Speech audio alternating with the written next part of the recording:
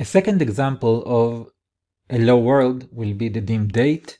In data warehouses, we usually have a dimension of date. This dimension help us to filter everything that connects to dates. For example, if it's a weekend or if it's the first day of the month, quarter, we can create this dim or dimension date with SQL. The example I will give you here is I created a URL, a web page that will be the DBT data build tool course uh, links to install also to install Python and uh, installation of DBT, of course. I am using an example about the date dimension and the SQL for it is in this link. We have a website. If we go to it, then you say here the link and it's just for help because you, if you know SQL, you can build this dimension by yourself also. And what you can see here that he created a table called the date. And then after he created the schema of the date, he actually created an insert into this table using a select. And every column here is a part of the, the select here that he, that he did from 1970 uh, with a series uh, and add the sequence basically created a date dimension with all sorts of columns. So what I did, you have in the materials, uh, the SQL itself, I will just copy it from here.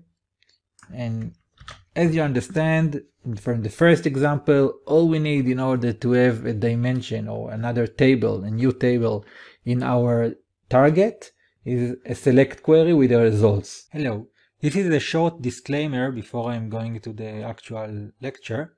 I wanted to say that this lecture is a part of an online course about DBT Data Build Tool. The course called Learn to Master DBT Data Build Tool online course. So if I will go now to uh, DBeaver and I will run the same SQL, I will have a table. And as you can see here, I have the dim, dim ID and the date key and the day of the week and here the quarter name this is the first and second and what is the year actual.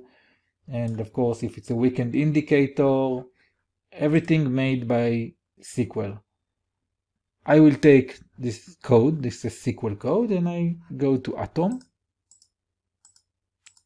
And in Atom in the models where we have the folder of the example we will create a new file.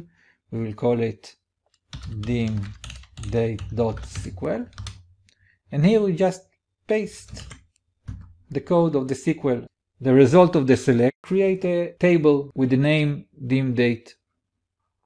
We will save it and now I will go to git bash under the project and I will do a dbt run